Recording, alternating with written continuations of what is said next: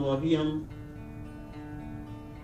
ध्यान में प्रवेश के लिए तैयार होंगे। कुछ बातें समझ लें। सुबह के ध्यान में हमने भस्त्रिका प्राणायाम से ब्रीदिंग एक्सरसाइज से शुरू किया था। इस समय हम ब्रीदिंग एक्सरसाइज नहीं करेंगे क्योंकि पेट में भोजन पड़ा हुआ है।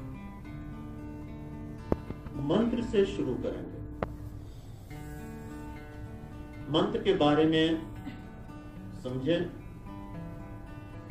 जितने भी प्रकार की साउंड्स हैं, उनमें संगीत की ध्वनि, संगीत की साउंड ऐसी है, जो कि तुरंत हमारे मन पर प्रभाव डालती है। हमारी मन स्थिति पर तुरंत प्रभाव डालती है। संगीत की ध्वनि जब मंत्र के स्वर संगीतबद्ध होकर, लयबद्ध होकर, एक सर्टेन फ्रीक्वेंसी पर जब वाइब्रेट होते हैं, हमारी ब्रेन वेव्स को वो प्रभावित करते हैं। हमारी ब्रेन वेव्स को प्रभावित करते हैं। वो मंत्र के स्वर, वो लयबद्ध होकर, वो हमारी स्पाइनल कॉर्ड में से प्रसारित होते होते होते होते, हमारे ऑटोमेटिक नर्वस सिस्टम पर अपना प्रभाव डालते हैं। वो नर्वस सिस्टम जो कि हमारी हार्ट रिदम को, हमारे ब्लड प्रेशर को, हमारे मस्कुलर फ़ंक्शन को, हमारे मेटाबॉलिज्म को, और दूसरे जो इंपॉर्टेंट फ़ंक्शन हैं, उन सबको रेगुलेट करता है। तो मंत्र बहुत ही इंपॉर्टेंट फैक्टर है, ध्यान के इस प्रयोग में। मंत्र is the expressive sound symbol of the cosmic consciousness. Sound symbol of the cosmic consciousness. The function of a mantra is to create vibrations in your inner consciousness. When the mantra sings in your ear,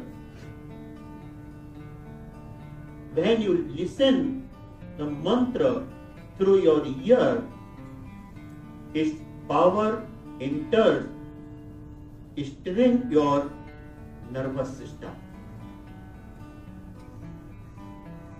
एक आंदोलन सा पैदा होता है आपके nervous system में एक आंदोलन सा पैदा होता है आपके हार्ट में string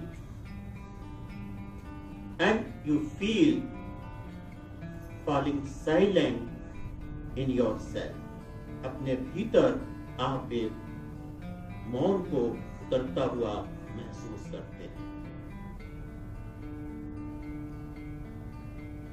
मंत्र।